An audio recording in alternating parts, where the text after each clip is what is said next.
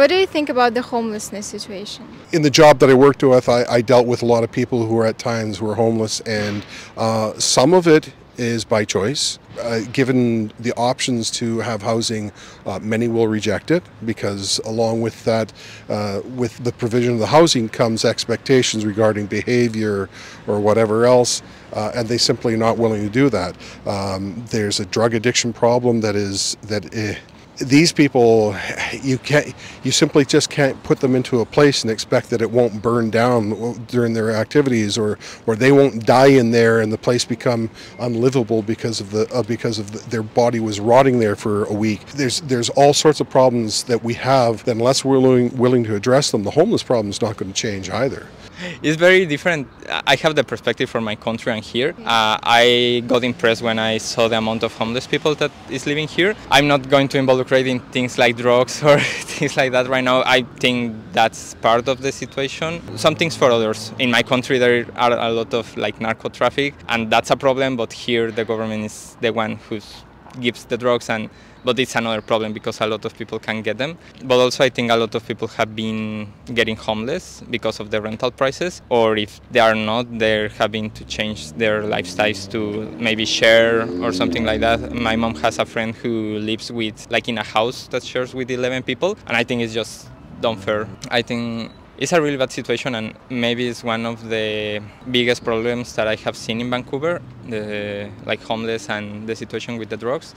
There are many homeless people here. I think it's not good because, uh, irrespective of uh, themselves, they are bad for other people, for public. It uh, shows a bad image and bad picture from Canada to international people and foreign people.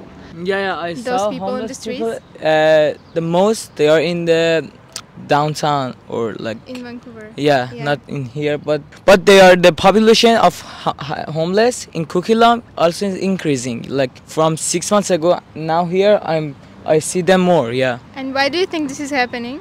maybe the drugs it's here it's selling so many in a school and like uh, the drugs is so easy to find It's bad. It's bad here. I think a lot of it just, just comes down to addiction. And until you can solve that, then you're going to be able to solve everything else. So. I, I feel sorry for them. It's it's sad. I mean, I say I saw tents go up all the times. They don't have any support. There, there's nothing. They get they have tents to treat, and the government doesn't pay attention to them. Do you, why? If the government gives gives drug addicts free drugs, why aren't they giving the alcoholics free alcohol? I don't understand that. Makes no sense to me. Give them help instead of giving more drugs. Give them some counseling or what they need to get off.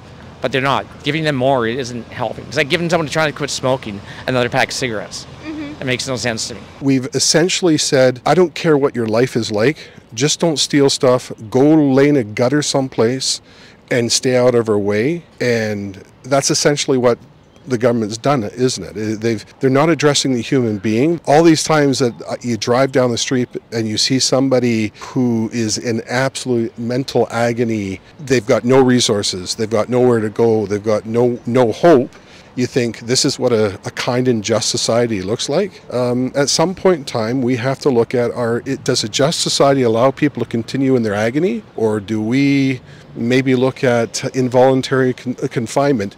Uh, I'm not talking about putting them in jail, but I'm talking about something else where where somebody with mental health issues is taken care of, given resources, given activities, uh, given medication, so they're not self-medicating and government has shown themselves of being very inefficient at doing anything well. How to uh, address the homelessness? uh, invest money in it. So with the homeless people, because I worked downtown Vancouver quite some time, uh, no one's paying attention. They're all in their tents. Um, there's a lot of uh, uh, mental health issues. The government needs to invest money in fixing, correcting those mental issues by giving support to them.